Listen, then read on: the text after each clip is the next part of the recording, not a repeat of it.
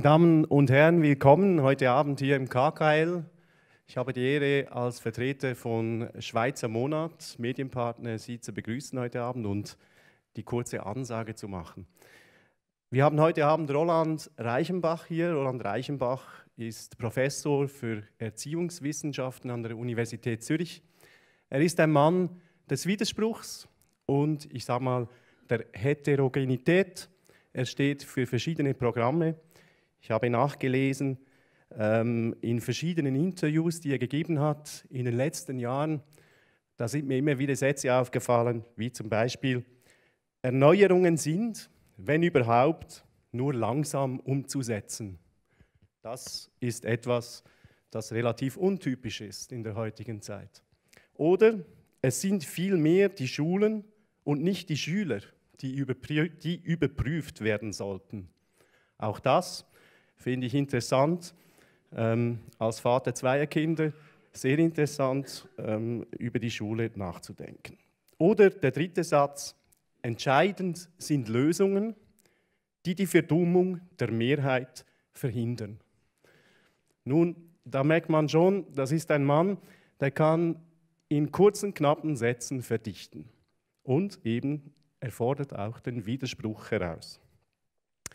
Ich freue mich sehr, diesen Mann heute Abend hier erleben zu dürfen mit Ihnen. Ich habe ihn selber noch nie kennengelernt, noch nie gesehen. Ich denke, es wird sehr spannend. Marco Meyer hat die Aufgabe, ihm auf den Zahn zu fühlen. Marco Meyer, Philosoph und Gastgeber heute Abend mit Roland Reichenbach. Bitte begrüßen Sie die beiden Herren mit einem kurzen Applaus. Danke.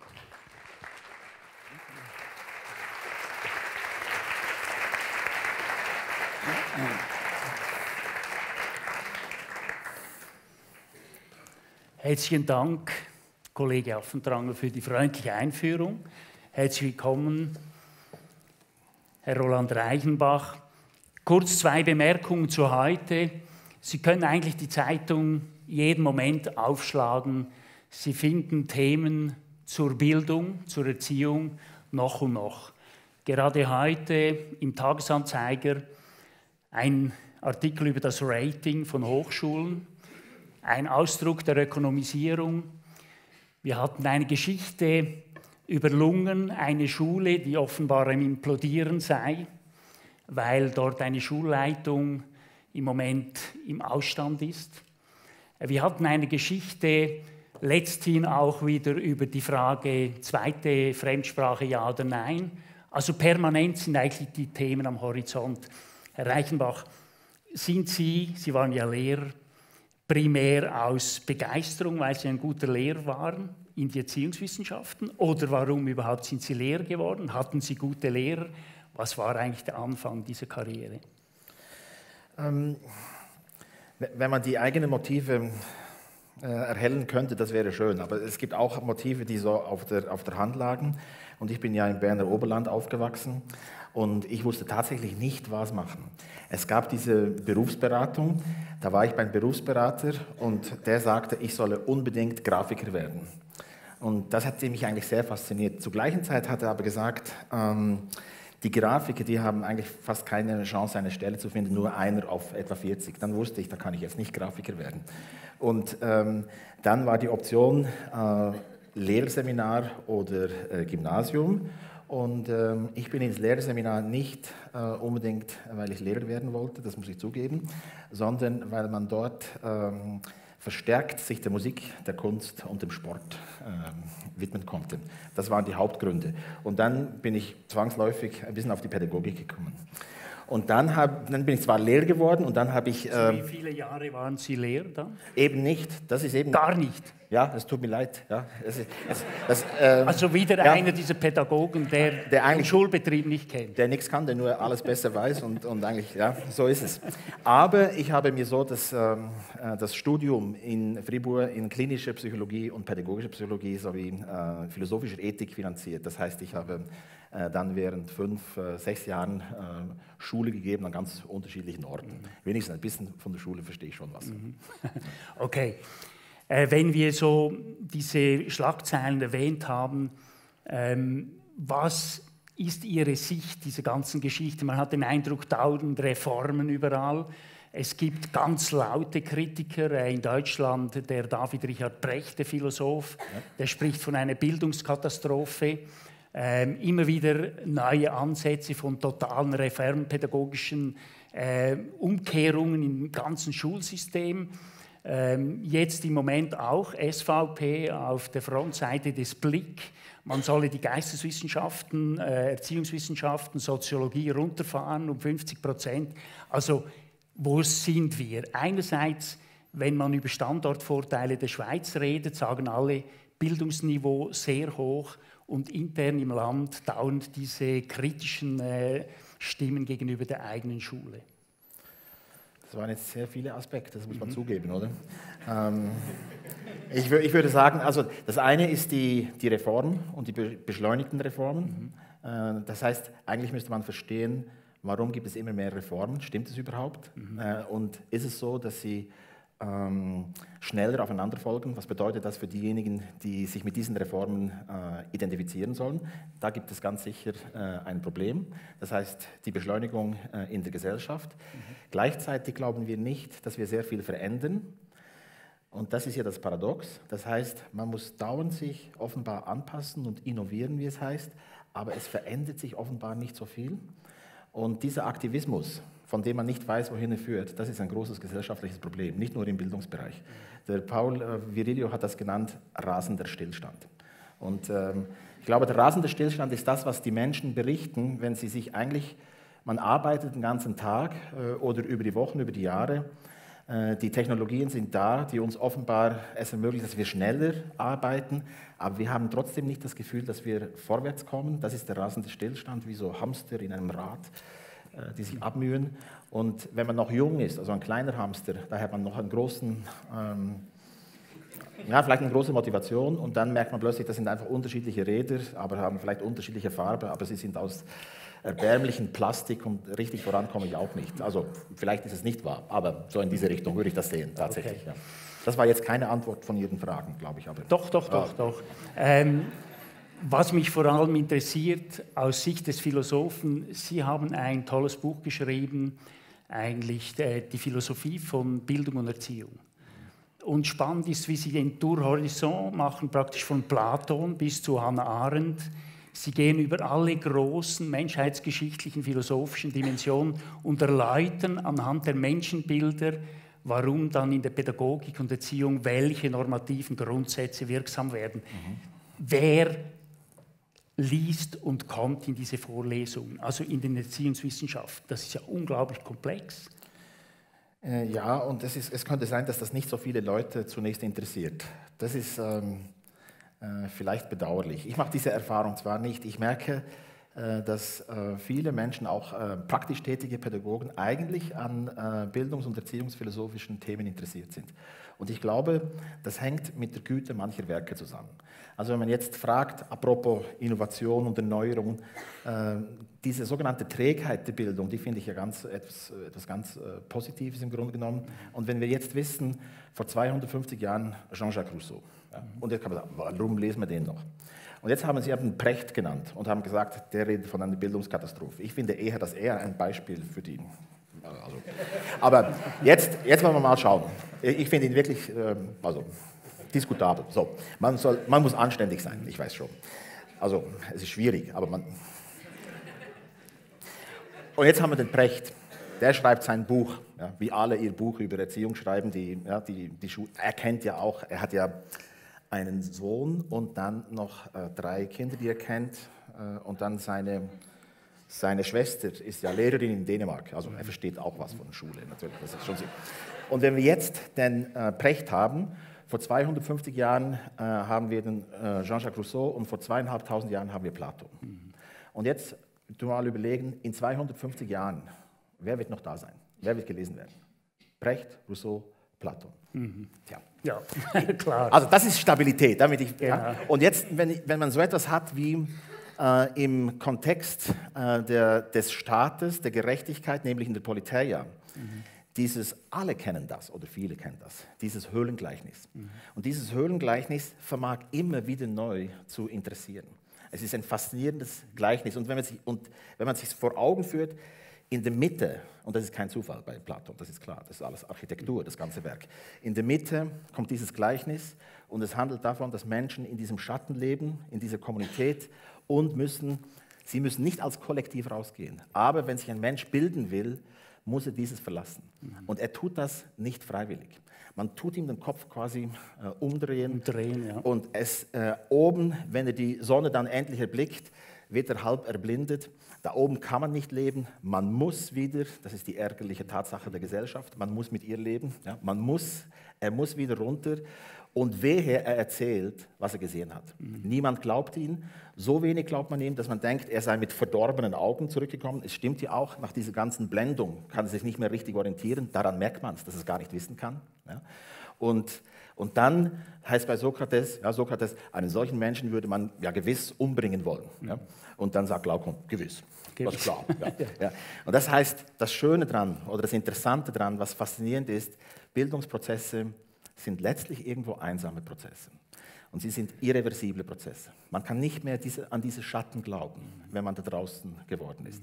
Und trotzdem muss man mit den Menschen leben. Und trotzdem sind diese Menschen eben wichtig, aber man kann nicht Kollektive bilden, sondern jeder nur sich selbst. Und die Idee, dass Bildung eine Selbstbildung ist, dass man den Menschen nicht bilden kann, sondern nur er sich selber, ist eine alte Bildung. Und schauen wir uns die Lehrpläne und überhaupt die Pädagogiken an, da würde ich sagen, vergessen wir nicht diese alten, wichtigen Ideen. Ja? Deshalb würde ich sagen, das gibt eine große Aktualität, äh, sonst würde man den gar nicht mehr lesen wollen. Und wie, wenn Sie selber diesen Tour d'Horizon machen, also Idealismus, den platonischen, dann über den Realismus von Aristoteles, dann hin zum Naturalismus in der Nähe von äh, Rousseau, dann weiter äh, in den Pragmatismus ähm, eines Dewey, dann äh, am Ende sogar in die Postmoderne, irgendwo noch Hannah Arendt. Sie selber, können sich philosophisch irgendwo positionieren? Ist das eine Art Eklektizismus oder wo, wo würden Sie sehen, dass Ihr Menschenbild heute sich fundiert? Ähm, ich glaube oder ich befürchte sehr stark in der Existenzphilosophie. Das ist das, was mich eigentlich ähm, schon immer interessiert hat oder wo ich merke, dass ich bin tatsächlich ein bisschen Arendt infiziert. Und immer, äh, man will sich ja emanzipieren gegenüber solchen Figuren, wie es im griechischen Mythos heißt, werft die Gebeine eurer Mutter hinter euch, aber das ist ja auch nicht sehr äh, schön. Und, äh, und dann immer, wenn ich denke, was kann man dazu sagen? Und dann was hat eigentlich Arendt dazu gesagt? Und dann merke ich, es ist einfach gut. Es ist einfach sogar sehr gut. Und da habe ich ein Problem. Und manchmal denke ich, es ist so gut, obwohl es falsch ist. Ist es trotzdem gut. Und das und, gefällt äh, mir bei der Arendt. Sagen Sie etwas von Hannah Arendt, weil man kennt sie gut in politischen Theorien. Ja. Was würden Sie sagen in der Erziehungsposition? Ja. Was ist der Kern Ihrer Aussagen? Sie hat äh, über Erziehung selber hat sie erstens nur einen äh, wirklich expliziten äh, Aufsatz geschrieben. Mhm äh, aus einem äh, Vortrag 1958 äh, aus Bremen über die Krise der Erziehung. Und sie hat eigentlich dort, ich würde sagen, weil sie auch eben eine politische Theoretikerin ist, hat gut, also sie ist da wirklich eine Seismografin für die Probleme, die sich dann später ergeben haben, nämlich es sei 1958, als ob die ältere Generation der, der Jüngeren nicht mehr zeigen wolle, wohin der Weg gehe. Nicht mehr zeigen könne, vermeintlicherweise. Und Du musst es selber wissen. Es ist dein Leben. Finde es selber raus. Mhm. Und diese scheinbar schöne Idee sei nichts anderes als letztlich die Verweigerung oder die Weigerung, Verantwortung zu übernehmen. Wir sind es dann nicht gewesen, mhm. wenn es dir nicht gut geht. Das heißt, also das ist ja ein bisschen ein konservativer, aber schöner Ansatz, dass Sie setzt auf die Vermittlung zwischen den Generationen. Oder? So ist es. Ja, eben. Äh, Pädagogik, ich meine, Agogik heißt Führung. Und jetzt ist die Frage, was eigentlich das bedeutet. Und das sogenannte Neue, äh, wenn ich das so pointiert sagen darf, das Neue kann man gar nicht lehren. Das ist nicht möglich. Die Neuen, das sind die Kinder oder die Immigranten. Kinder sind übrigens auch Immigranten, sind Immigranten in der Kultur, in der Welt der Menschen. Ja, und das heißt, äh, sie übernehmen das, was da ist. Und es ist alles schon da. Die Werte sind da, die Sprache ist da, die Probleme sind da. Und Bildung heißt nicht, dass man Werte selber erfinden kann. Das ist alles nur Rhetorik. Bildung heißt, man setzt sich zu dem, was man erfahren hat, in ein Verhältnis. Aber im Grunde genommen hat man immer schon angefangen. Deshalb bei Arendt die Natalität, der Anfang ist das Wichtige. Und Der Anfang ist uns zur gleichen Zeit nicht verfügbar. Wir haben uns entweder schon interessiert, aber wir können nicht überlegen äh, oder bewusst wählen, was uns jetzt zu interessieren hat. Mhm. Und dass die Freiheit verbunden ist mit, dieser, mit diesem Mangel an Souveränität. Mhm.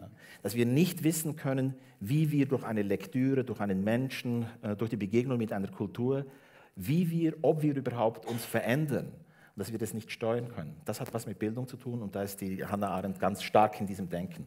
Und wenn ich noch kurz, mhm. also ich bin nie kurz, also gut, ich meine, ich, ich, ich will sagen, das heißt, und was wir heute haben, ist genau das Gegenteil. Man will wissen, wozu etwas gut ist. Das kann doch kein Mensch wissen. Mhm. Und diese Frage, wozu ist das gut, das ist die, die Also Pädagogen als Prognostiker wäre ja auch eine auch das, spezielle ja. Dimension. Ja, natürlich. Ja. Aber immer muss immer fragen, wozu ist das gut? Ja. Und alle müssen heute mit Transfernutzen argumentieren. Mhm. Das heißt, es ist gut für etwas anderes.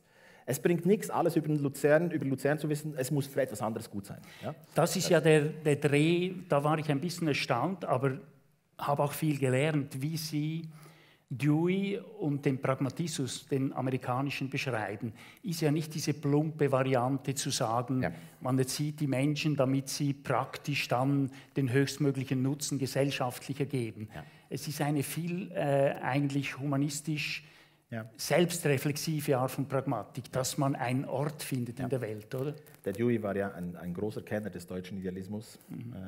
äh, Hegel und Kant. Und in der Tat, der äh, John Dewey wurde auch, und insbesondere sein großes Werk natürlich, äh, äh Erziehung, Demokratie und Erziehung, 1916 rausgekommen, wurde nicht verstanden in äh, Deutschland und abgelehnt, weil äh, das eben eine ateleologische Bildungstheorie. Man wusste nicht, ja, welches Ziel soll hier erreicht werden und dass in der Bildung die Entwicklung das Ziel sei überhaupt. Der Prozess überhaupt. Der Prozess, das hat man lange nicht verstanden. Heute redet man, reden alle eigentlich ein bisschen so. Und deshalb gibt es einen Dewey-Hype. Mhm. Und speziell, die Schweizer sind ja sowieso quasi die, die Amerikaner Europas, sehr pragmatisch. Mhm. Äh, bitte keine großen Argumente, sondern gleich, ja, nicht, nicht, nicht lange diskutieren, sondern abstimmen. Das ist auch schön. Aber es wäre ein plumper Pragmatismus. Ja, ja es ist ja ein vulgär, äh, ein vulgär äh, pra, äh, Pragmatismus. Und in der Tat, wenn man schaut, äh, was heißt eine Idee haben oder eine nützliche Idee? Ist nicht eine Idee, mit der man etwas in der Welt anfangen kann und einen anderen manipulieren kann, sondern eine nützliche Idee ist eine, die einen auf andere Ideen bringt. Ein nützlicher Unterschied, zum Beispiel ein analytischer Unterschied, ist ein Unterschied, der einen Unterschied macht. Das ist diese, äh, diese Sichtweise und das ist, das ist eigentlich sehr sympathisch, aber verkannt, will ich sagen. Verkannt. Nun, wir haben gesagt, wir wollen zwar nicht jetzt den ganzen Kanon und die ganzen äh, Themen der modernen Reformen diskutieren, trotzdem ein paar Stichworte. Äh, alle reden von Bologna. Jetzt ist es bald dann wohl zehn Jahre her. Große Erwartungen. Mittlerweile, äh, wenn ich meiner Tochter gesagt habe, freu dich aufs Studium, sagt sie mir, ich weiß nicht, von was du geredet hast. Sie rennt nur noch äh, ihren Leistungspunkten nach und äh, muss eigentlich alles absolvieren, so schnell wie möglich. Wie sehen Sie das? Ist da ein Umdenken langsam äh, ein bisschen im Anzug oder also ein bleibt Zurückdenken wieder? Ja. Hm. Ich glaube, das sind so Dinge, die einem passieren, die eigentlich niemand wirklich gewollt hat und die nicht gut sind. Und ähm, die, ich kenne niemand, also keinen Kollegen oder Kollegin, die Bologna gut finden. Aber wenn man nichts anderes kennt, ja, die Jüngeren, dann kennt man eben nichts anderes. Und dann gibt es auch keine Melancholie. Mhm. Ähm, und insofern kann man sagen, ich meine, und dann müsste man über, überlegen, wie schlimm ist es, ja, die Effekte. Und dann heißt es immer Ökonomisierung. Und ich glaube, das ist eine sehr, das ist eine sehr platte äh, äh, Diagnose. Äh, das ist einfach mit Ökonomie und wo sind die bösen Ökonomen, die das irgend neue Ideen äh, haben. Tatsächlich gibt es das, aber ich will nur sagen, es könnte noch viel schlimmer kommen. Und solche Ideen gibt es, etwa von der Bertelsmann Stiftung, das ist ja sozusagen mhm. lange Zeit das heimliche Bildungsdirektorium der, Deutschlands geworden. Bildung. Ja, so. Ja. Nämlich äh, Teaching Points. Ja. Ja, man kann nicht nur Credit Points, sondern äh, Teaching Points mhm. und dann diese Faktorisierung, diese Ideen. Sport, ich meine, warum soll ein Sportlehrer, warum soll man 45 Minuten Sport gleichzählen wie 45 Minuten Deutsch? Mhm. Ich meine, der zieht nur seine Turnhose an, wenn überhaupt. Ja. Ja, so. Ja. Und der andere muss dann korrigieren und so weiter. Das kann man doch nicht, deshalb muss es faktorisiert werden. Ja, das wird ja auch getan. Und diese Ideen, die hauen ja nicht hin. Und jeder weiß es, aber sie haben einen großen Effekt. Und ich glaube, sie sind in Wirklichkeit nicht etwas Bösartiges, sondern ich glaube, es ist ein Demokratisierungseffekt. Es hat auch damit zu tun, dass die personalen Autoritäten nicht mehr sein sollen.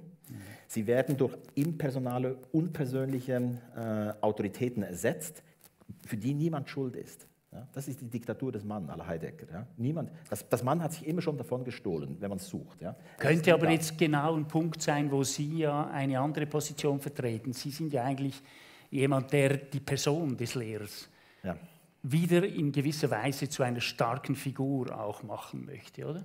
Ja, und zwar, also, zwar theoretisch. Es gab ja die Versuche, den Lehrer quasi abzuschaffen, mit Soul, diese ganzen selbstorganisierten Lernprozesse äh, man kann das selber machen, braucht keine Lehre mehr, Animation und fertig. Ja, eben, man möchte nicht abhängig sein von einer Lehrperson. Sie sollte nicht zu stark sein. Mhm. Man hat diese Angst. Ja. Das ist ein helvetisch Nein, nein, nein, nein. Ich glaube, das ist, das ist eine, ich glaube, das hat auch mit diesem, eben, das meinte ich, das hat etwas mit Demokratisierung äh, insofern zu tun, dass man das mit einer Emanzipation äh, sozusagen verwechselt. Mhm. Und ich sage nicht, in Wirklichkeit ist es ganz schlimm, das glaube ich sowieso nie. Ja. Äh, sondern da, da, muss man zuerst die Wirklichkeit anschauen. Also ich meine, das sind ja nur Behauptungen.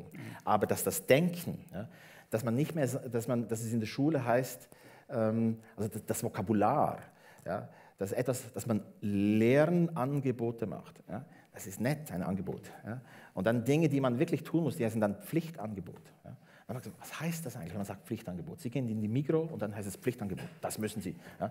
Wenn Sie das nicht kaufen, kommen Sie hier nicht mehr raus. Da merkt man, ist das ein sinnvolle, und das, ich meine, die Sprache, wie reden wir eigentlich? Ja? Das finde ich das Schlimme. Ja?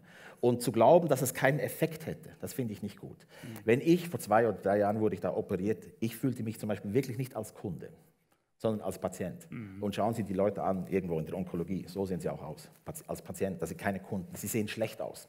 Und man sollte, sie müssen etwas erdulden, etwas ertragen. Und der Schüler ist kein Kunde, mhm. er ist ein Schüler, mhm. er ist ein Gehorcher, er muss zuhören. Nicht kommen auf die Punkte zurück. Ein, zwei Bemerkungen zu Lernplan 21 wollen sicher alle wissen.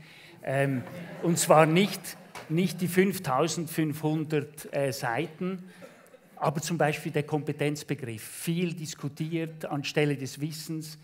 Was hat es da an sich?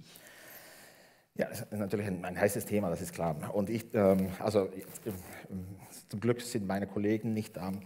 Ähm, wir haben natürlich diese Diskussion. Die, und man kann, es ist eigentlich eine sehr komplexe Diskussion.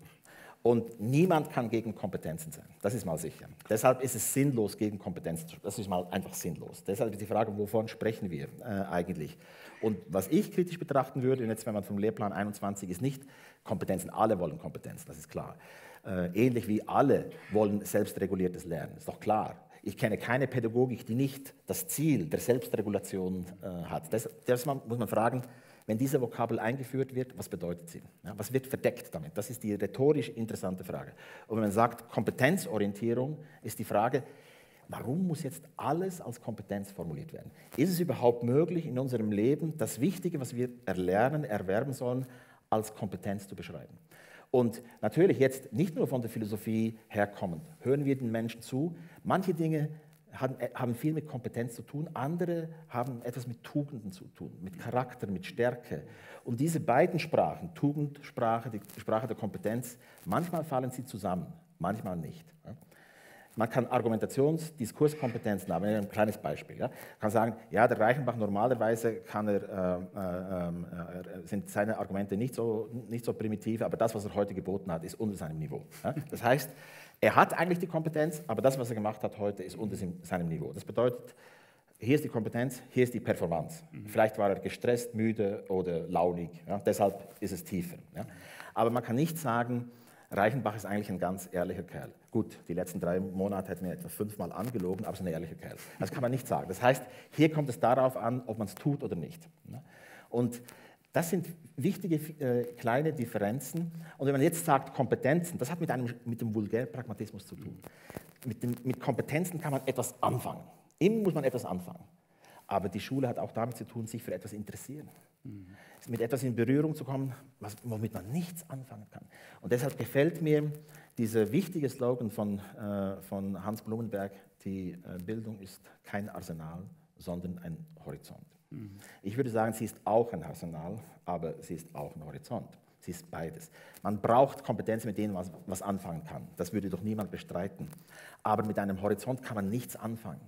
Von wem ist die Unterscheidung äh, Verfügungswissen und Orientierungswissen? Ist das, ich glaube, den brauchen Sie auch. Ja, das gibt es äh, bei äh, Mittelstraß. Mittelstraß. Ja. Also das eine wäre das wirklich eher pragmatische, dass man für eine bestimmte Sache genau. die Lebensbewältigung genau. eigentlich die guten Wissenselemente zur Verfügung hat und ja. die Orientierungs... Äh, Eben. Aber, ja, was heißt Orientierung? Eben. Das ist das Orientierungswissen, wenn man reines Verfügungswissen hat. Ja, das ist nämlich das, was sozusagen die, die Kompetenzen beschreiben. Ja, was will man mit denen anfangen? Ja, das, was du willst. Ja. Und Orientierungswissen heißt eben das historische, ethische, politische Wissen, wo man steht. Und für unser Leben, für unsere Identität ist nicht primär entscheidend, was wir können, sondern vielmehr, was wir wollen. Was wir für wichtig empfinden, was wir für schlecht empfinden. Wenn Sie wissen wollen, wer ist ein Mensch, müssen Sie nicht wissen, was kann er, sondern Sie möchten wissen, was strebt er an, wovon hat er Angst, was möchte er vermeiden. Das heißt, seinen Wertehorizont ja, verstehen und er, der sich oder sie, die sich dazu in ein Verhältnis setzen kann, das ist, das sind sozusagen, äh, das ist die Orientierung. Und dieses Wissen ist nötig, um zu wissen, äh, wer man ist. Nicht, was man kann, sondern wer man ist. Und wenn Sie jetzt, wenn ich noch weiter reden darf, kurz, wenn wir uns vorstellen, so ein Mensch, der auf jeder sozialen und Selbstkompetenz Top-Niveau hätte, er wäre einfach ganz oben. Was könnten wir über diesen Menschen sagen? Meine Behauptung ist nichts. Wenn wir jetzt wissen Meier, dann wissen wir vieles, was er kann. Aber Meier kennt man erst, wenn er weiß, ähm, was er will und was er für Probleme hat. Und dann wissen wir, Meier ist so, das kannst du bei ihm nicht, aber das schon. Er hat vielleicht einen Knall, ist okay. Ein bisschen schief, hat Gott lieb, verstehen Sie? Okay. Ja, das ist das. Er hat eine Biografie. Jetzt kommen wir drauf, wer ist Reichenbach ein bisschen. Ähm, Sie haben wunderbar äh, in diesem neuen, ich glaube, ist das letzte Buch, schon der Titel ist ja sehr provokativ. Eigentlich das, was wir alle hinter uns haben wollten, für die Schule lernen wir. Und alle sagen, was lernen wir für die Schule, nicht fürs Leben. Und dann unten sehr schön Plädoyer für eine gewöhnliche Institution. Also zwei wunderbare Provokationen. Die gewöhnliche Institution, es wird alles so unglaublich in einen Hype verdreht. Es muss alles so extrem ja. expertenmäßig, äh, total auf alle Seiten ja. hin austariert sein. Ja. Hochkomplex und vielleicht ist eigentlich eine gute Schule etwas relativ Gewöhnliches. das glaube ich auch. Das heißt, man hat, man hat ein, ein bombastisches Vokabular in sehr vielen Belangen. Mhm. Das, ist auch, das ist heute äh, auch mit den Anglizismen, dann, wenn es heißt ein, ein, ein Master in, in, in, Holzbautechnik, ich meine, ist okay. Ich meine, hat man eben, hat man, ja, hat man eben, oder in Mehrwertsteuerwesen. Es ist, das ist, ähm, äh, ich glaube, das ist, ähm, oder, oder in Art Performance, oder, ist ja egal. Aber das heißt, es gibt ein Bedürfnis oder eine Notwendigkeit, äh, eine bestimmte Form von Kitsch zu produzieren. Das ist nämlich nicht die schmalzige, sondern das ist der schwulstige Kitsch. Das heißt, man bauscht etwas auf und eigentlich ist es relativ banal. Und das kann auch so aussehen in der Schule, dann heißt es, wir machen Werkstattunterricht. Dann, wenn man so Werkstatt, dann denkt man so Handwerk, also man so, sieht so, ah, ja, da, ja, das Werkstatt, das ist doch toll, eine Werkstatt. Und dann sieht man, es sind irgend so mickrige Kartons mit irgendwelchen Papierzettel drin, die schon 15 Mal gebraucht worden sind. Und das ist die Werkstatt. Oder wo ist die Werkstatt hier? Ja? Das heißt dann Werkstattunterricht. Ich meine, das ist doch eine abwegige, deviante Sprache. Und so sollten wir nicht reden, äh, glaube ich. Ja. Aber ich ja. Schöne Begriffe, die Sie dann wiederum brauchen, wenn Sie eigentlich relativ stark die Personalität des Lehrers wieder betonen. Ja. Sie reden von der Bedeutung des Kollektivs, Klasse als Kollektiv, dass man lernt, in einem Kollektiv zu lernen zum Beispiel die ganze Zivilität kann man lernen in der Schule, also sich vorbereiten auf die Fähigkeit, in einer Gesellschaft überhaupt eine Rolle zu übernehmen. Dann der Gemeinsinn, das sind drei eigentlich sehr traditionelle, aber spannende Begriffe, auch Deutsch, wieder einmal normales Deutsch. Ja. ja, eben. Aber wenn wir jetzt haben, das zum Beispiel das, das Lernen im Kollektiv. Wenn, wenn Sie schauen, die Pädagogik kennen oder Didaktik kennen, Meistens hat man das Kind, der Schüler, der Lerner, das Hirn. Ja? Mhm. Immer in, als im, im Singular. Reformpädagogisch ja, gibt es natürlich auch die Bedeutung der Gemeinschaft, der Klasse und so weiter. Ja? Und ähm, beides, hat, äh, äh, beides hat seine Stärken und Schwächen, will ich sagen. Aber das, das Lernen im Kollektiv heißt nicht, dass man das Kollektiv irgendwie lieben muss und sich total damit identifizieren muss. Aber es hat eine Bedeutung, ob wir gemeinsam auf eine Sache gerichtet sind. Und wenn wir gemeinsam auf eine Sache gerichtet sind, äh, sehen wir, und das ist auch wieder Hannah Arendt, ja, quasi werden wir, erst dann werden wir weltlich. Ja. Wir wollen nämlich auch gesehen werden. Was hören kann, will gehört werden. Was sehen kann, will gesehen werden. Was berühren kann, will sich berühren lassen. Dann haben wir das Gefühl, dass wir etwas mit der Wirklichkeit zu tun haben. Und das ist sehr basal und es ist demokratisch sehr bedeutsam, weil hier gemeinsam auf eine Sache, ja, und es ist, es ist primär, also zunächst mal egal, ob die jetzt motiviert sind oder nicht, äh, wenn es um die binomischen Formen geht, aber hier gibt es Gründe und diese zählen. Es gibt eine Form von Objektivität. Äh, die zählt. Ja? Das heißt, die Lehrperson kann nicht sagen, 2 und 2 ist 5, weil ich der Lehrer bin. Ja? Kann sie nicht sagen.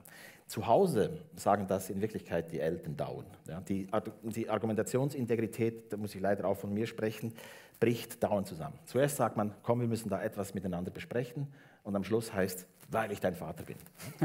Das ist, ja, das heißt, zuerst tut man diskursiv und am Schluss ist es die Macht. Das geht das, nicht das in der Schule. Nicht, genau. Und in eine das ist auch schnell demaskiert. Ja, das heißt aber, es gibt ein anti-indoktrinäres Strukturelement in der Schule. Mhm. Und das kann man nur, wenn man gemeinsam an einer Sache ist, wenn die anderen auch sehen. Und wie, Sie haben ja dann auf der anderen Seite eine relativ kritische Haltung gegenüber einer falsch verstandenen Partizipation. Ja. Sie sagen kollektiv ja, ja, aber nicht eine, auch demokratisch waren Sie teilweise dass man den Einzelnen nicht, bevor er eigentlich seine eigene Verortung kennt, ja. schon irgendwie auf eine irgendwie politische Partizipation hinlenkt. Ja. Was ist genau der Kern? Die, die Frage ist, Partizipation ist auch wieder so ein, ein, so ein, äh, so, so ein Gottesdienstbegriff. So Partizipation, alles, ja, finden, finden, alle gut. Ja? Aber das heißt überhaupt nichts. Ja? Ich meine, in der, in der Hitlerjugend haben auch alle partizipiert. Ja? Das heißt überhaupt nichts. Es heißt nur etwas, wenn zu den Partizipationsrechten Distanzierungsrechte gehören. Wenn man, das, man möchte dazugehören. Vielleicht möchte man auch mitbestimmen können. Man muss lernen, mit, mitzubestimmen. Aber äh, wenn man nur mitmachen muss, ja, dann haben wir ein Problem. Ja. Und natürlich leben wir vor allem, wie der Michael Walzer sagt, in unfreiwilligen Assoziationen. Ja. Und ähm, deshalb, die Distanzierungsrechte sind nicht einfach da. Aber es gibt diese Ambivalenz.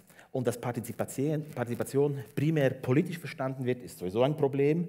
Äh, und dass sie primär gut sein soll, ist ein echtes Problem. Und das führt eigentlich zur Frage, ähm, das ist demokratietheoretisch interessant, die ganze Geschichte der Demokratie, der gute äh, Ruf äh, dieser Staats- und Lebensform ist sehr jung. Und es ist äh, die Argumente oder die Kritik gegen äh, die Demokratie, die muss man auch ernst nehmen. Und es gibt einen ganz interessanten italienischen äh, Demokratietheoretiker Giovanni Sartori, der in seinem äh, Buch zu Demokratie, heißt Demokratietheorie, schön geschrieben hat, äh, von den Bedingungen ähm, der Demokratie wird schnell übersehen, dass falsche Vorstellungen von ihr sie in eine falsche, auf eine falsche Bahn bringen. Und ich glaube deshalb, überall dort, wo Gottesdienst ist, ist etwas nicht in Ordnung. Ganzheitlichkeit, sozial, nachhaltig, wenn alle nur mit dem Kopf nicken können. Und was ist andererseits, es ist ja, geht wieder ein bisschen in die andere Richtung, Sie legen Wert auf die Dimension des Anstandes auch. Ja. Das ist spannend, was sehr unpopulär sein könnte. Ja, Anstand, Anstand ist Abstand. Ja. Anstand heißt, man muss nicht immer sagen, was man denkt. Ja. Äh, Anstand heißt, ähm, überlegen, wie weit die Authentizität gehen soll. Das, das, Höfliche kommt aus dem höfischen Leben. Und natürlich ist in der Moderne Aufklärung, hat man eine Abneigung äh, erhalten. Ja? Man findet ähm, Moral wichtiger als bloße Konvention. Aber wir alle wissen, wenn die Konventionen nicht eingehalten werden, das ist gar nicht gut.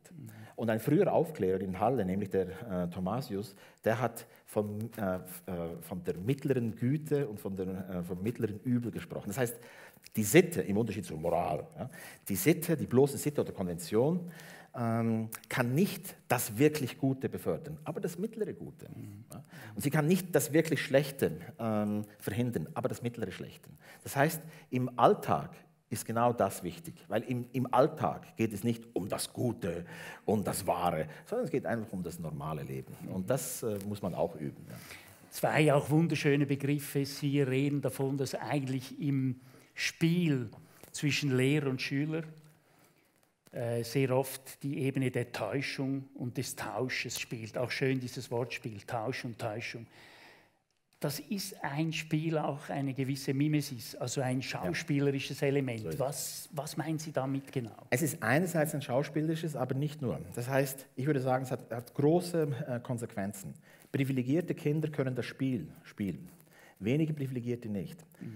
Ein wenig, ein, und Tausch und Täuschung hängen wie zusammen. Wenn ich erwarte, die Schule bringt mir was, der Schein bringt mir was. Am Schluss werde ich aufs Gymnasium oder dies oder werde einen Beruf erlernen können.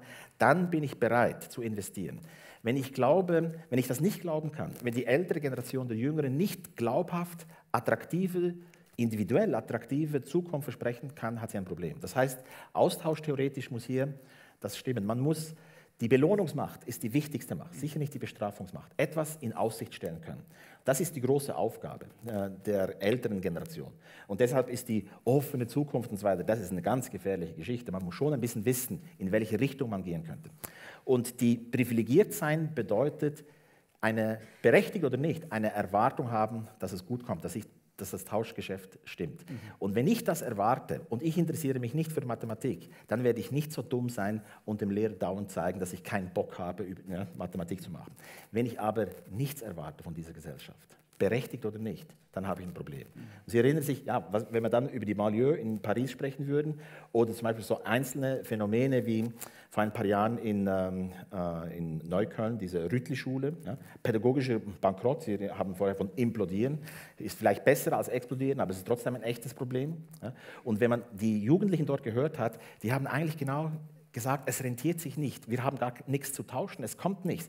Warum etwas investieren, wenn wir am Schluss in dieser Gesellschaft da in, in Kreuzberg sowieso als Immigranten keine Chance haben? Das heißt, motiviert zu sein, dass man ein bisschen täuscht, das wusste schon Kant, ist nicht so schlecht. Warum Kant? Der hat die Idee wahrscheinlich von Aristoteles, sie sagen Mimesis, ne, Imitatio. Wie wird man mutig, wenn man es nicht ist? Wie wird man tugendhaft? Ja, das war die Frage. Und Aristoteles Antwort ist, äh, indem man so tut, als ob. Ja? Und, das, und das ist, man hat keine andere Möglichkeit. Und Sie reden ja von der Wechselseitigkeit und da erinnert man sich selber gut an die eigene Schule. Ja. Man kannte mit der Zeit die Marotten des Lehrers auch und man wusste auch, wie man sich verhalten muss, damit man bei ihm einigermaßen ins Spiel kommt. Und das ist ja äh, ein kreativer Prozess. Absolut. Es ist nicht einfach ein gegenseitiges Betrügen, sondern es ist ein Spiel, was in der Gesellschaft auch funktioniert. Alle, ja. die ganzen Bewerbungsverfahren sind ja auch ein Stück weit Täuschung und ja. ein Tausch. Man spielt ja. ein bisschen mehr, ein bisschen Hochstapel. Wenn mich die Mathematik, Mathematik nicht interessiert, aber wenn ich wenigstens fähig bin, so zu tun, als ob, dann ist die Chance da, dass ich Mathematik lerne. Mhm. Wenn ich nicht so tue. Also den Habitus. Ja, ja, das Habitus. Und deshalb ist die Authentizität ist ein wichtiger Wert, das ist klar in der Moderne. Mhm. Aber das kann nicht das Kriterium sein, wie man institutionelle Erziehung quasi äh, kritisch betrachtet. Das geht nicht, weil es genau eben unfreiwillige Assoziationen sind. Ja, das ist, ist, wichtig. Deshalb tun wir so. Und dieses als ob, ja, as if, diese, von Weihinger gibt es ja die ganze Philosophie des als ob. Ja, das ist nicht so negativ mhm. und im Wort der Täuschung äh, stören sich halt viele. Das ist sehr protestantisch, dass man sich daran stört. Sie, als Katholik stört man sich weniger. Ich bin Protestant. Ich meine, ich muss mit meinen Sünden leben, ich kann die nie abbauen. Ich, habe, ich meine, als Katholik haben sie noch das Fegfeuer. Das ist, ich meine, selbst als Sünder haben sie noch eine Chance nach dem Tod und wir Protestanten, wir sind natürlich. Ja. Ich frage Sie jetzt nicht, ob die Transsubstantiation eine Täuschung sei. Das verstehe ich theologisch sowieso nicht, weil ich sage.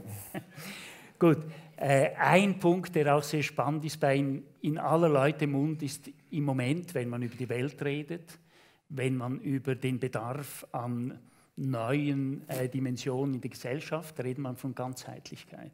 Ja. Sie sind da ein Stück weit skeptisch.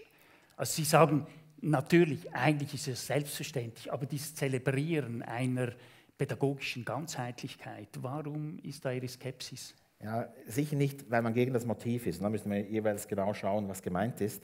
Und dann merkt man aber, dass offenbar jene, die ganzheitlich äh, sagen, häufig nicht wissen, was sie meinen. Mhm. Ich weiß noch von einer Lizenziatsarbeit, die ist 1996 geschrieben worden in, ähm, in äh, Fribourg. Äh, hat sich äh, der Kandidat die Mühe gegeben, Ganzheitlichkeit in den Schweizer Lehrplänen Schweizer, äh, Deutsch-Schweizer Lehrpläne anzuschauen. Und es gibt Kantone, da sind die Kinder schon ganz, wenn sie in die Schule kommen. An anderen Kantonen äh, müssen sie erst ganz werden. Und es ist, äh, es ist ganz interessant. Äh, sie werden ganzheitlich beurteilt. Und ich, ich will jetzt nur sagen, diese scheinbar positive Vokabel wie Ganzheit, plötzlich heißt es ganzheitlich beurteilen. Was heißt denn ganzheitlich beurteilen? Dann heißt es zum Beispiel ja auch die, die Selbst- und Sozialkompetenz. Ah ja, jetzt können wir das auch noch. Die Sozial das ist problematisch. Ich möchte zum Beispiel lieber die Empfehlung für den Übertritt nicht erhalten, weil ich einfach keine gute Mathematik- und Französischleistungen habe, als dass die noch etwas über meine Kompetenzen, meine Selbst- und Sozialkompetenzen sagen. Und wie hieß es früher? Ja, ja, früher hieß es betragen. Ja, oder braucht noch seine Finger zum Zählen. Das ist doch wunderbar. Das ist quasi beschreibbar. Aber nicht, bitte nicht so tun, als ob ihr mich kennen würdet. Das ist unethisch, würde ich sagen. Und ich glaube, die Lehrpersonen werden zum Teil aufgefordert, Dinge zu tun, die sie in Wirklichkeit gar nicht beurteilen können. Genau gleich wie überall, wenn sie sich irgendwo bewerben, dann mit diesen Assessment-Tests, das ist doch einfach Unfug zum größten Teil. Also da könnten wir drüber diskutieren. Ich sage es jetzt so salopp, da heißt es ja, der redet einfach irgendwie. Dann möchte ich mal schauen, nehme er irgendeine soziale Kompetenz, zum Beispiel das Verhandeln oder das Emotionsverstehen oder irgendein prosozialer Akt und dann was wissen wir wissenschaftlich darüber? Wie kann man das erfassen? Kann man es mit einem Assessment-Verfahren äh, erfassen? Und dann merkt man plötzlich, kompliziert, schwierig, schwierig. Und dann könnte man endlich wieder ein bisschen bescheiden sein und weniger so tun, als ob man wüsste, sondern das hinterfragen. Und das sind wir wieder beim ältesten äh, Bildungsideal des Abendlandes. Aber die, die Frage doch, eine Zeit lang hat man quasi gesagt, die Schulen sind ein Schonraum gegenüber allen Bereichen, wo heute Qualitätskontrollen gemacht waren. Das ist der einzige Ort, wo eigentlich Lehrer noch und Schüler in einem völlig autonomen Raum ihre Ideen leben können. Tönt gut, ist ja auch gut. Aber ist mehr und mehr so. kommen ja jetzt auch die Bewertungen der Lehrer. Aber das bleibt dann bei den Lehrern. Teilweise müssen ja auch zum Beispiel die Schulleitungen beurteilt werden können. Das ist ja das Zentrale, dass diese Einheiten Lehrer, Schüler Schule als Ganzes eine Dynamik entwickelt, die auch stimmt, dass man sich gegenseitig stützt? Ähm, also ich, höre da unterschiedliche Motive oder Momente oder, oder, kritische Punkte, die man diskutieren könnte. Das eine ist, äh, was kann man bewerten äh, mhm. oder, äh, und was ist Soll man es ja, und, und, welche Praxis mhm. Äh, ist dahinter oder welche Ansprüche, quasi, quasi, wie valide sind eigentlich diese Urteile. Dann haben Sie jetzt die Lehrpersonen genannt. Sie haben suggeriert, dass, hier, dass die Lehrer bisher eigentlich machen konnten, was sie wollten. Das würde ich hm, bestreiten. Mhm. Das äh, trifft sicher nicht zu. Äh, und, äh, und dann haben sie die Schulleitungen genannt, die in der Schweiz ja relativ ähm, neu sind. Mhm. Ähm, das sind ja alles unterschiedliche Aspekte. Ich weiß jetzt nicht, was wir da mhm. Äh, herauspicken äh, wollen. Also ich kann es ein bisschen erläutern, wenn der äh, Neurowissenschaftler Joachim Bauer sagt, man rede zu wenig über das kompakte System einer Schule, weil ein Lehrer braucht auch den Austausch, ein Stück weit das Monitoring durch eigene Kollegen, das Gespräch. Mhm. Dass man zu sehr auf Einzelkampf lange Zeit getrimmt war, jeder hat sein Ding und macht sein Ding. Mhm. Und dass darum eben diese Schulleitungen auch so zentral werden, dass eigentlich diese innere Kommunikation spielt, dass auch dieser Austausch eine Dimension ist, die funktioniert. Mhm dass man die Systeme besser versteht, auch die Schüler letztlich besser wissen, in was für ein System sie unterwegs sind. Mhm. Also ich glaube, äh, das ist äh, sicher unbestritten, dass die Kommunikation im Lehrerzimmer äh, eine sehr eine große Bedeutung hat, weiß man auch aus der, aus der vergleichenden Schulqualitätsforschung. Man sollte am gleichen Strick ziehen, natürlich soll das ausgehandelt werden können. Die Motive für die Schulleitungen, das hat natürlich jetzt andere Motive. Ähm, jetzt ist die, die Zeit ist jetzt anders. Vor 20 Jahren war es quasi von unten, wurde die Reform, und heute ist es von oben. Ich sage übrigens nicht, dass es schlecht ist, weil es von oben kommt, das würde ich niemals sagen. Und bei, interessant ist jetzt bei den äh, Schulleitungen, wie, die müssen sich jetzt neu verstehen. Ja, und wer, äh, was sind die Aufgaben? Und ich glaube, das sind äh, hier neue Aufgaben, die interessant sind, nämlich wie man, wie man sie versteht. Und ich könnte mir vorstellen, das ist die Erfahrung, die ich mache, ähm, was ich so höre, dass äh, viele Schulleitungen vielleicht ein bisschen zu aktiv sind. Ja. Das heißt, Inaktivität ist eine ganz wichtige Führungsstrategie. Ja. Mhm. Auch als äh, Eltern, eben überhaupt in, in der Führung. Das heißt, das heißt nicht einfach nichts tun, sondern das heißt sich nicht dauernd einmischen. Die Dinge, wenn sie funktionieren, äh, ein bisschen lassen. Vor ein paar Monaten haben wir so einen Fall über einen erfolgreichen ähm, äh, Medizinprofessor in, in, äh, in Zürich äh, diskutiert. Der war sehr erfolgreich, hat Lehrbücher geschrieben. Alle wussten, ähm, er hat sie nicht geschrieben, sondern seine Leute. Er hat ähm, Projekte gehabt, ähm, ja, alle wussten, andere haben es gemacht. Viele Doktoranden. Gibt es überhaupt Professoren, ja. die selber schreiben? Äh, ja. Und, ähm, und, äh, und, also quasi erfolgreich. Mhm. Und dann, aber die Leute haben sich doch gefragt, ah, was macht er eigentlich? Ja? Mhm. Und dann ist er gestorben und dann ist alles zusammengebrochen. Ja? Und es zeigte, es ist wie quasi drumherum und er ist der, der ruhende Pol. Ja? Er mischt sich nicht ein. Mhm. Und ich glaube heute, wenn man nicht weiß, was machen als Schulleitung, dann macht man mal irgendein Formular. Das finde ich nicht gut. Also ich, ich, und so, so kommt es ein bisschen. Ja. Also würden Sie, ich meine, das hört man sehr viel, äh, Lehrer sind auch am Pegel, weil sie immer mehr Erziehungsfunktionen gesellschaftlicher Art übernehmen. Die Eltern haben Erwartungen, dass das, was sie nicht leisten können, weil beide vermutlich streng und heftig auch im Beruf gefordert sind. Dann auch die dauernden äh, Elterngespräche, die Qualifikation der Schüler, dann auch diese Rapporte, die ganzen äh, ja, Bewältigung dieses Administrativen. Ist das ein subjektives Gefühl heute oder ist es objektiv so, dass viel mehr an auch Administration anfällt für Lehrer? Ich glaube, diese, der, die Kritik oder das, die, der, der, Vorwurf, dass da viel Bürokratie, Administration, ich glaube, das ist, äh, ich glaube, das ist ein Irrtum. Ich glaube, da wird auch geklagt, ähm, es könnte erstens, es könnte viel schlimmer sein. Äh, das ist wichtig. Es könnte viel schlimmer sein, wenn man das mit anderen Berufen und so weiter vergleicht. Aber das Unbehagen, was ausgedrückt wird, ist ein sehr wichtiges. Und ich glaube, eines der Grundprobleme ähm, ähm, ist die gesellschaftliche Anerkennung der Lehrperson. Mhm. Und die gesellschaftliche Anerkennung der Institution, Schule und der Lehrperson hängen zusammen. Das heißt, die Gratiskraft der, der Legitimation der Lehrperson und ihrem Tun, ihres Tuns ist durch die Anerkennung der Schule. Und das ist natürlich in anderen Orten, ich kenne ein bisschen äh, den, den Fall Südkorea zum Beispiel ganz anders. Das heißt, die Anerkennung der Lehrperson ist sehr viel größer. Wenn man sagt, ähm, er spricht wie ein Lehrer in Südkorea. Dann meint man nicht, er spricht wie ein Lehrer, wie man es hier sagen würde. Mhm. Mhm. Er, äh, ja, spricht wie ein Lehrer, typisch Lehrer. Das ist eine Ehr Ehrerbietung eigentlich. Absolut. Sondern, ja, man sagt, er meint, er spricht wie ein Lehrer, heißt, man kann von ihm lernen.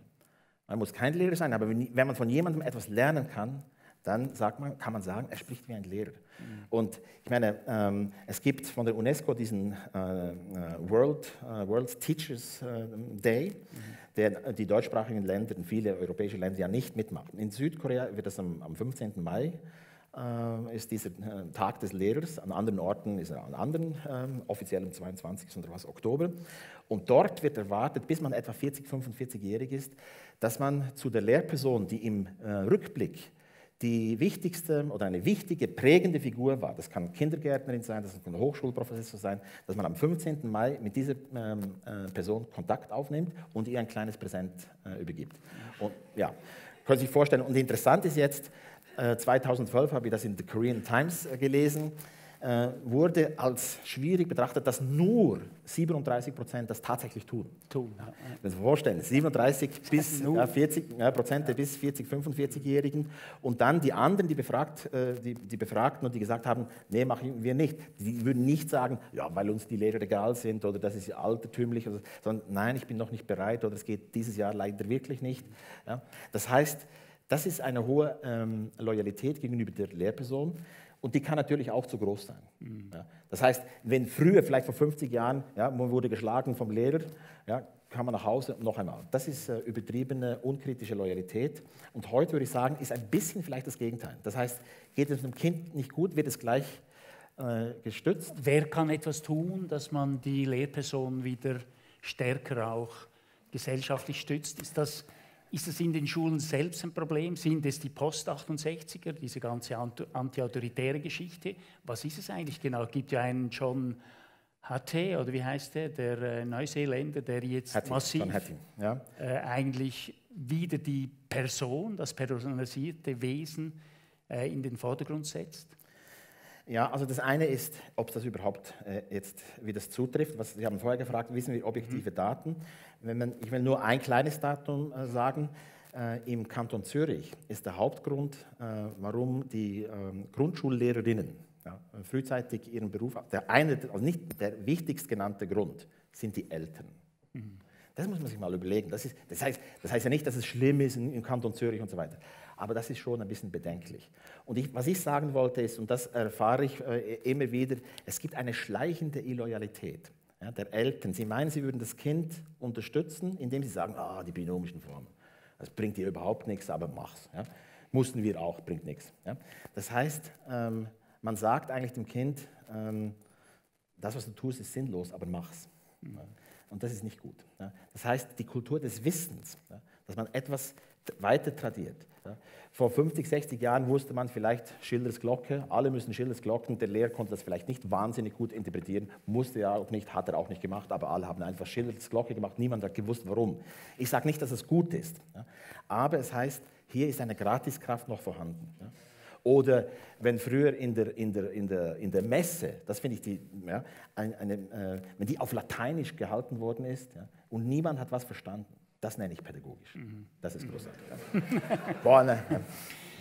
Was wir unbedingt sicher auch ansprechen wollen, kurz, ähm, unter dem Begriff der Ganzheitlichkeit sind ja die alternativen pädagogischen Modelle, reformpädagogischen Modelle immer wieder im Gespräch. Ja. Ähm, lange Zeit vor allem die Steiner Schule, dann natürlich auch immer mehr Montessori. Ja. Was, was ist Ihre Position zu zum Beispiel Montessori? Weil ich habe gerade am letzten Wochenende wunderbar gelesen da vom äh, Wirtschaftsprofessor Erik Breinjolfsson vom MIT. Mhm. Er sagt, alle der Gründer von Microsoft, Bill Gates, Amazon-Gründer Jeff Bezos, äh, Wikipedia-Gründer äh, Jimmy Walls, ähm, Zuckerberg von Facebook, Google-Gründer Larry Page, alle Montessori-Schüler. Mhm. Also das heißt, offenbar haben die irgendetwas in Sachen Kreativität und Innovation verstanden, was andere nicht verstanden haben. Ja, es ist interessant, dass man plötzlich so aus, äh, aus ähm Holz und Natur am Schluss im digitalen Bereich erfolgreich ist. Also, äh, kleiner Witz gewesen. Was ich sagen wollte. Also übrigens, ja. übrigens ist ja, ja genauso, ja. Diese, diese Kollegen, alle diese, ja. sind ja eine Mischung von äh, Hippies und Kapitalisten. Das ist genau der Punkt zwischen Holz und. Genau, äh, genau.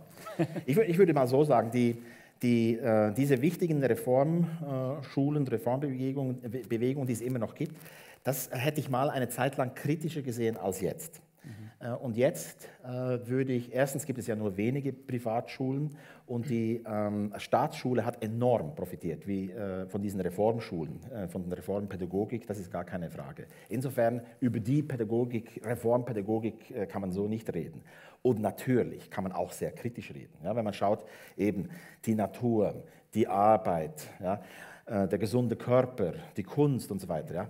Wenn man dann schaut, welche Kunst, dann merkt man, es ist anti-urban, anti-modern. Ja? Äh, man muss auch noch gesund sein und so weiter. Ja? Das heißt, das sind, es ist zur gleichen Zeit entstanden wie, wie der Faschismus. 10er, 15er Jahre. Ja, ja, eben.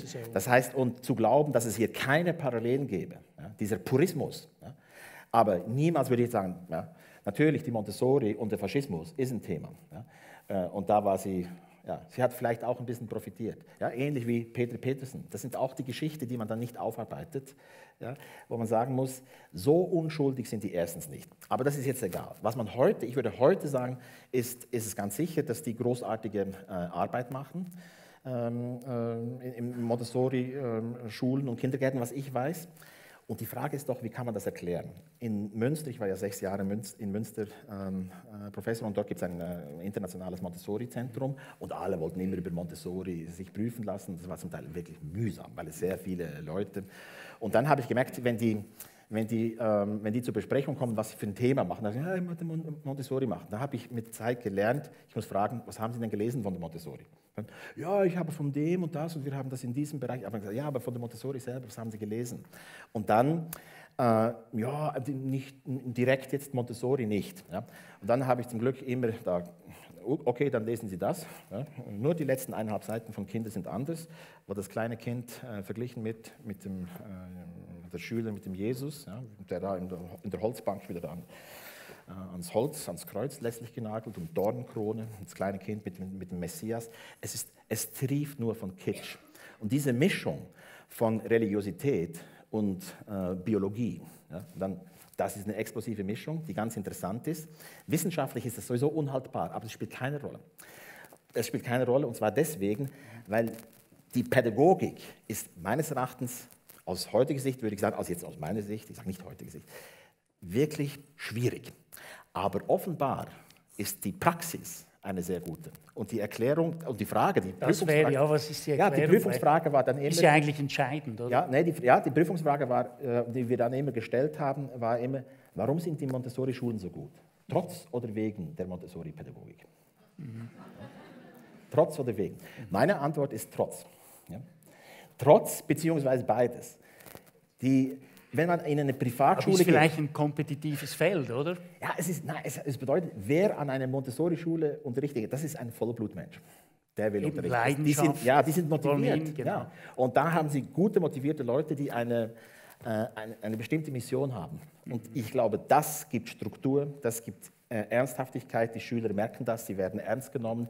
Die Lehrpersonen wollen etwas, sie haben Maßstäbe, sie haben eine Theorie, Ideologie dahinter und sie machen es gut. Das ist nicht schlecht. Ja? Das heißt, das hat schon seine Wirkung und deshalb würde ich das nicht so äh, einfach nur kritisch. Ja. Wo lernt denn, das wäre das Entscheidende, wo lernt der junge Mensch diese Leidenschaft entwickeln? Weil das ist es wohl wirklich. Äh, jeder Mensch von uns hat eine Biografie, die alles an Lehrpersonen entlang gedacht und erlebt ist. Also wenn man an irgendein Fach denkt, scheint ein Gesicht auf. Ja. Ich sehe noch heute einen Lehrer, der mir immer sagen wollte, ich solle zeichnen und Kunst machen. Ich habe es nicht gemacht. Da ja, kommen eben, heute noch die, in Sinn. Die gemeinsamen Fehler. Ja, ich sollte Grafik machen, stehen Sie. Ja. Genau. Aber es ist ja. doch verrückt, schaut man ein Curriculum vitae an, all die Schulen werden aufgelistet und sofort denkt man an konkrete Menschen. Das waren eigentlich die wichtigsten eben. Personen. Wo lernt in der Erziehungswissenschaft der junge Student diese Empathie, diese ja auch, wie wir gesagt haben, Mimesis, diese Dynamik, diese Lust am Menschen, die Liebe am Menschen auch kennen. Ja, ich glaube leider, ich, ich möchte eigentlich niemandem zu nahe treten, aber ich glaube, wir sind irgendwo ein bisschen in einer leidenschaftslosen Situation hier. Das betrifft sicher nicht nur die Pädagogik. Und ich sage dabei nicht, dass die Leidenschaft einfach nur eine gute Sache sei.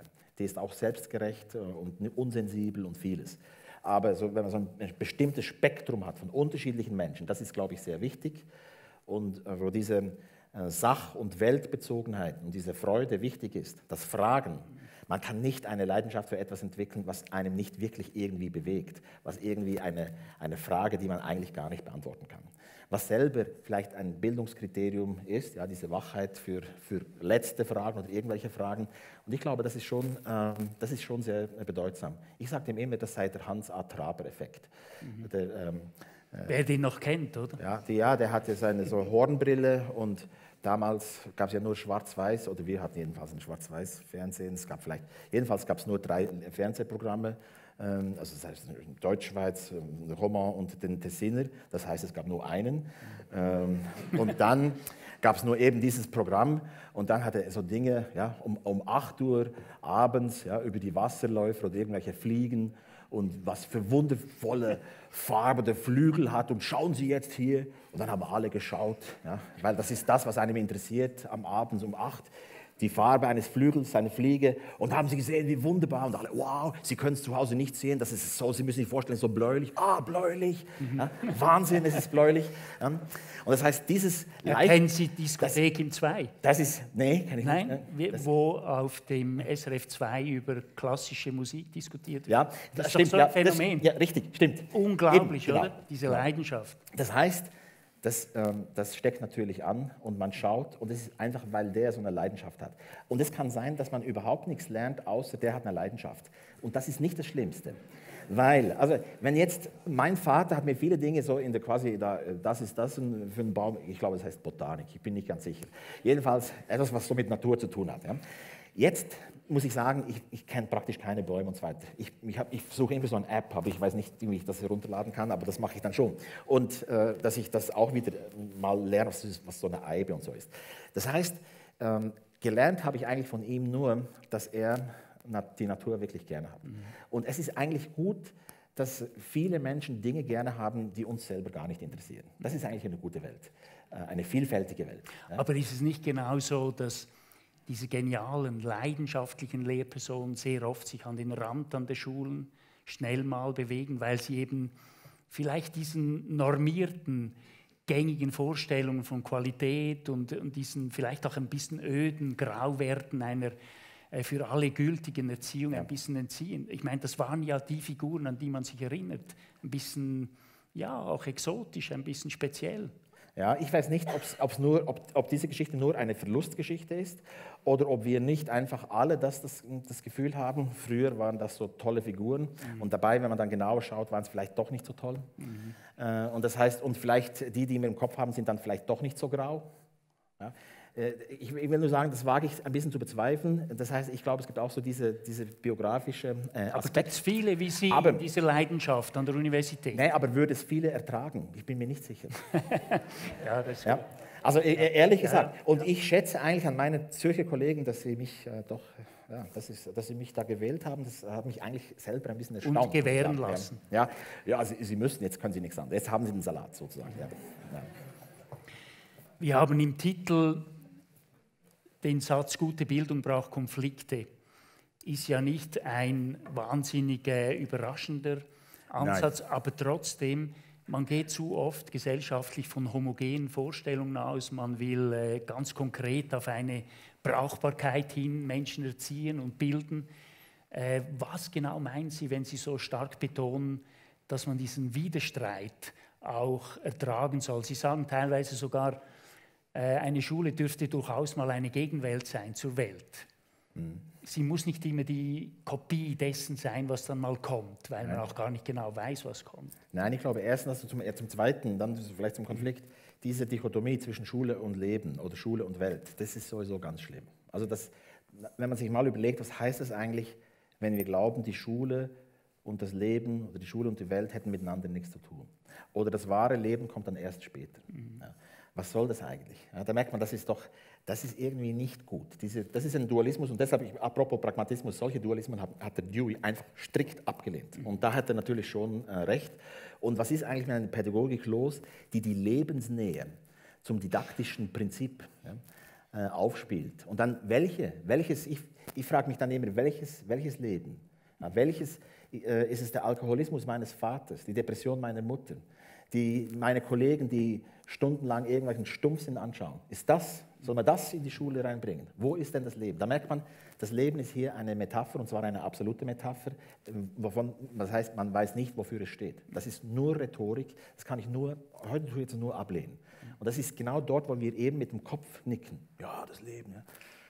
Und ich will nur sagen, es ist sehr interessant, dass, ähm, dass die Gedanke, nicht nur bei Korczak und auch anderen Reformpädagogen, dass das Kind, apropos Ganzheitlichkeit, das ist nicht einfach nur etwas Negatives, diese, dieser Vokabel, das würde ich nie so kritisieren, sondern dass die kindliche Lebens- und Erfahrensweise, das kindliche Leben ist ein ganzes Leben. Das wahre Leben kommt nicht erst später. Und für Schleiermacher war klar, wenn so viele Kinder sterben, die Chance, wenn mehr Kinder sterben als Erwachsene, das war zu Schleiermachens Zeiten noch der Fall. Das heißt, Menschsein bedeutet die Chance als Kind zu sterben ist größer als erwachsen zu werden. Da muss äh, sozusagen schon aus theologischer Sicht dieses Leben ein ganzes Leben äh, gewesen sein. Und man muss äh, dieses Leben muss auch ein sinnvolles Leben sein und ist nicht nur eine Vorbereitung für ein späteres Leben. Und da merken wir diese ganze Idee des Transfers und dass wir das benutzen könnten und genau wüssten, welche wissen wann. Das Wie ist ein, Riesen, ja. ist ein Riesenirrtum. Und sollen, sollen wir doch die Freude haben, uns mit einer bestimmten Leidenschaft auf einen Gegenstand ja, hingerichtet zu sein, zusammen. Ja. Das ist doch wunderbar und man kann sich was zeigen und sagen lassen, man kann sich einmischen. Da müssen wir doch nicht wissen, warum. Wenn ein kleines Kind sich für Dinosaurier interessiert, sagt man doch nicht, Dinosaurier die sind tot. Ich meine, mach doch was anderes. Ja, was kannst du mit dem kannst du nichts. Das, ist, das passt überhaupt nicht. Wir können nicht wissen, wozu etwas äh, in Zukunft gut sein wird. Das ist ein Irrtum. Und vor allem, man kann nicht zur gleichen Zeit sagen, alles ist offen. Und dann wollen wir aber noch wissen, wozu es gut ist. Ich meine, man merkt, dauernd nur so völlig inkonsistente Rede. Und zum Teil ist es so ärgerlich, aber ich habe jetzt gemerkt, die äh, Dauerempörung ist auch keine sinnvolle Lebensweise. Also das ist äh, auch ein Punkt noch bei Eric Brynjolfsson. Er sagt, eigentlich müsste man das Bildungswesen völlig äh, revolutionieren, weil der neue Mensch, der einen total anderen Zeit- und Raumbegriff hat, wird mit allen Mitteln technologisch mit völlig anderen Qualitäten äh, umgehen müssen. Niemand weiß es. Ähm, äh, Michel Serre sagt in seinem schönen Buch äh, Die Liebeserklärung an die vernetzte Generation, er sei traurig, dass er über 80 schon sei und nicht erfahren werde, wie anders diese Menschen mal leben werden. Also eigentliche Digital Natives gibt es gar noch nicht. Die sind erst jetzt langsam am Wachsen. Was werden die so total anders machen? Das, Haben weiß, Sie eine das weiß ich natürlich auch nicht. Ich, ich will nur sagen, dass man gleich von solchen ähm, ähm, äh, Erkenntnissen wie, dass vieles möglich sein wird, darauf schließt, dass wir die Schule revolutionieren müssen. Das, das sagen so Menschen wie der Precht. Mhm. Dass wir gleich alles verändern. Mhm. Das ist ein großer Irrtum. Und ich glaube wirklich, dass heute progressiv sein bedeutet, zu konservieren. Mhm. Das, was gut ist. Und der Unterschied von Fortschritt zu Innovation ist, dass der Fortschritt eine Idee ist, wie die Herkunft mit einer Zukunft verbunden wird, die wir gestalten. Und diese, das, ist, das ist die politische Idee der Moderne. Und Innovation bedeutet das vermeintliche Eingestehen, dass wir nicht mehr wissen, warum. Deshalb, seid ihr schon Bologna? Habt ihr schon, seid ihr modernisiert? Nein, nein, nein, warum? Ach, wir müssen auch hier so. Ja? Das heißt, überall diese, dieses sich verändern und alles ist offen. Und was, das ist pädagogisch völlig eine, eine untaugliche Hintergrundphilosophie oder Theorie. Das kleine Kind soll doch nicht vor allem erfahren, alles ist offen. Ja, vielleicht wird es keine Menschen geben, vielleicht werden wir so, wahrscheinlich. Ich meine, was ist das für eine Welt? Ja, sondern, sondern eher doch, schau wie schön. Ja, hast du gesehen hier? Sie spekulieren ja. Das ist, doch, das ist doch ganz anders. Und nur weil die Technik, die Technik äh, die Technik führt zu neuen Problemen, aber es gibt ein paar äh, anthropologische Konstanten mhm. und die werden bleiben. Zum Beispiel, dass wir klein anfangen. Mhm. Auch Zwerge haben ja, kleine. Ja, ja, ist, ähm, ja. Sie spekulieren an einem Punkt sogar, wenn ein Mensch, der vor 200 Jahren gelebt hätte, heute in ein Schulzimmer käme, er würde sagen, hat sich ja nichts verändert. Ja. Weil im Kern, und das finde ich spannend, Sie sagen, die Grundsituation des Lernens und Lehrens ist dieselbe geblieben. Ein Ort, wo sich Kinder verorten können, wo sie sich sicher fühlen, wo sie Vertrauen aufbauen können und eine Person, die mit diesem Vertrauen nicht spielt, sondern sie damit auf neue Themen hinführt. Mhm. Das ist nämlich, ein, das, ist nämlich das Argument, was also Bob Slavin und, äh, und viele dieser Evidenzleute äh, die, die, glauben, dann heißt es noch Evidenz, das ist also auch ärgerlich, aber gut, ja, die glauben, ähm, es sei ein Indiz dafür, für, das, für, die Trägheit des Systems. Und Trägheit sei nicht gut. Das Schulsystem und Bildungssystem sei zu wenig adaptiv. Und deshalb kommt, äh, kommt seine Idee, wäre da ein Mensch im 18. Jahrhundert eingeschlafen oder eingefroren worden und heute taucht er auf, geht durch die Welt, wow, KKL, keine Ahnung, was ist denn das? Wäre total fasziniert und endlich kommt er in eine Schule. Das versteht er wenigstens, oder? Das kommt ihm bekannt vor. Und das braucht er als Argument, um zu sagen, so altertümlich und altbacken ist die, ist die Schule.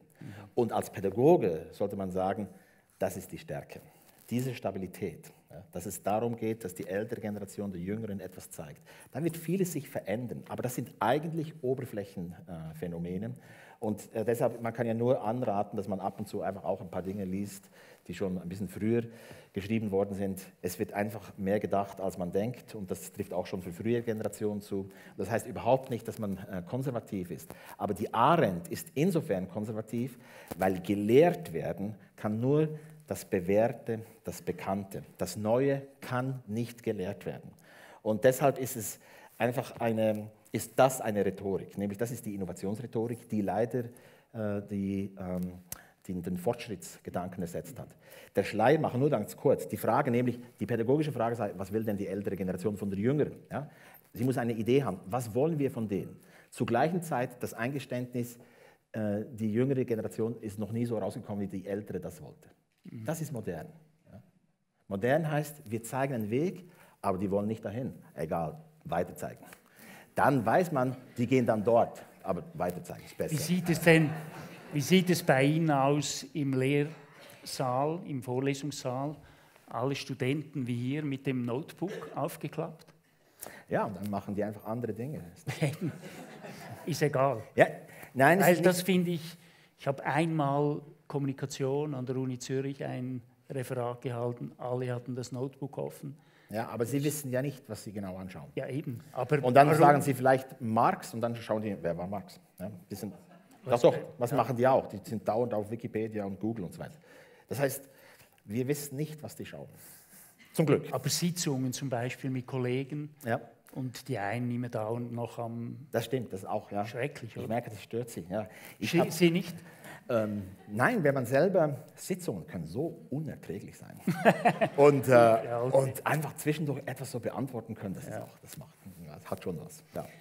Sagen Sie jetzt vielleicht äh, gegen Ende, was wären Ihre härtesten Kritiken? Sie waren ja eigentlich eher jetzt der, der sagt, betonen wir das Gewöhnliche, stehen wir dazu, dass es gewisse auch anthropologische Konstanzen gibt, auch biologische äh, Konstanzen, dass man da auch aufbauen kann. Was wären die krassen Momente, wo Sie denken, unsere Schule könnte schieflaufen? Ich weiß nicht, das ist eine schwierige Aufgabe. Ich würde sagen, wir, ähm, ich glaube, ähm, ich glaube erstens, dass die Schule aus pädagogischer Sicht verklärt wird dass sie in ihrer Komplexität, in ihrer ähm, Vielfalt der Funktionen wird sie verklärt. Sie ist nur bedingt eine pädagogische Institution. Mhm. Und das muss man als, als Pädagoge, auch als Lehrperson äh, erkennen. Sie ist natürlich auch eine administrative äh, Institution. Sie ist eine politisch bedeutsame Institution. Sie hat, sie hat Funktionen wie die Selektionsfunktionen, die pädagogisch schwierig sind. Mhm. Die eigentlich, die sind nötig für eine, äh, für eine komplexe, hierarchisierte Gesellschaft und moderne, komplexe Gesellschaften sind alle stratifiziert. Äh, es kann gar keine äh, andere Aufgabe so, wie, so im Zentrum sein wie die Selektion für viele. Und die, die Frage ist nur, wie man das organisiert. Aber pädagogisch äh, ist das alles schwierig. Ja? Deshalb, das heißt, es, gibt, es, ist, es ist eine widersprüchliche äh, Institution. Aber vieles funktioniert sehr gut. Ja? Und das äh, finde ich, das heißt, und ich finde es, ich glaube, das ist eben gefährlich, wenn man so zu, allzu negativ äh, spricht. Das nimmt einem auch als Lehrperson äh, einfach meines Erachtens die, ja, die, die Motivation, äh, hier überhaupt etwas zu tun. Dann glaube ich aber, es gibt viele Probleme. Das, was manchmal so mit Akademisierung, kann man darüber dis diskutieren, ja, dass es tatsächlich ein Problem sein könnte. Ich rede nicht von der Lehrerbildung, sondern überhaupt. Ja. Und da ist die Schweiz mit dem dualen System von außen so ein bisschen äh, unter äh, Kritik. Mm, das ist interessant für die, äh, für die Schweiz in, in Zukunft. Und äh, als, aus pädagogischer Sicht finde ich eher, äh, was mich ein, ein bisschen, was ich eigentlich schlimm finde, ist, wenn wir so lange in der Schule herumsitzen müssen. Und ich meine, ich will nur sagen, unter dem Stichwort Acceleration mhm. ja, haben die Entwicklungspsychologen gezeigt, wie die Geschlechtsreife in den letzten 200 Jahren sich von 18,5 ja, auf 11 und so weiter, bei den Mädchen ist es noch rabiater als bei den äh, Buben, Jungs, sich ähm, äh, eben früher einsetzt. Und das heißt, die Kindheit wird kürzer, die Ausbildungsgänge werden immer länger, die Abhängigkeiten immer länger. Das heißt, plötzlich entsteht eine Jugendzeit, genauso wie die Soziologen sagen. Vor 200 Jahren gab es eigentlich diese, diese Zeit gar nicht, ja? sondern eher ein abrupter Wechsel von, ähm, von Kindheit in die, in die Erwachsenenrolle. Ähm, Und diese, diese 15, dann vielleicht 20 Jahre, ja? wo alle sagen, du musst in dich investieren. Und alle in, investieren in sich. Sie wissen, und alle sagen, es ist alles offen. Ja. Das ist irgendwie, dann sitzen die alle da. Das finde ich irgendwie wirklich demoralisierend. Und wenn man ein bisschen wissen würde und merken, hier ist eine Gesellschaft, die möchte einen. Ja. Entweder für den Sozialismus oder den Kommunismus oder die Demokratie oder die Armee oder den Gott, das Himmelsreich. Hier gibt es Aufgaben. Ich bin gebraucht. Das, ich bin irgendwie gebraucht. Und deshalb, ich würde auch nie Funktionalismus, ganz schlimm, Instrumentalismus. Ja, der Mensch, man muss ihn auch instrumentalisieren können. Ja? Wenn man selber nicht mehr keine Funktion mehr für den anderen hat, dann merkt man, wie schlimm es ist. Deshalb Funktion ausüben, auch für andere, ist eine gute Sache. Ja? Aber eben, wie es bei Kant heißt, nicht nur, niemals nur als Mittel. Ja? Das ist klar. Herr Reichenbach, ich glaube, wir sind am Ende dieses Gesprächs. Herzlichen Dank. Ja, Sie haben viele Begriffe, die wir eigentlich salopp immer brauchen, ein bisschen gegen den Strich semantisch anders interpretiert. Wunderbar. Herzlichen Dank ja, für dieses Gespräch. Danke. Ja, danke.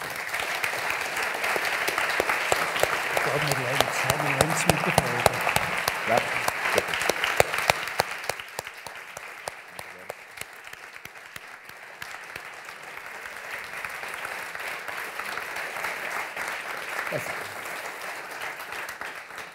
Ja, ich möchte noch auf das zehnte Gespräch, äh, jetzt habe ich gerade das Datum nicht im Kopf. Ähm, ja, wir haben am 23. April Professor Dr. Tanja Singer, Neurowissenschaftlerin, sie ist Leiterin des äh, Max-Planck-Instituts in Leipzig.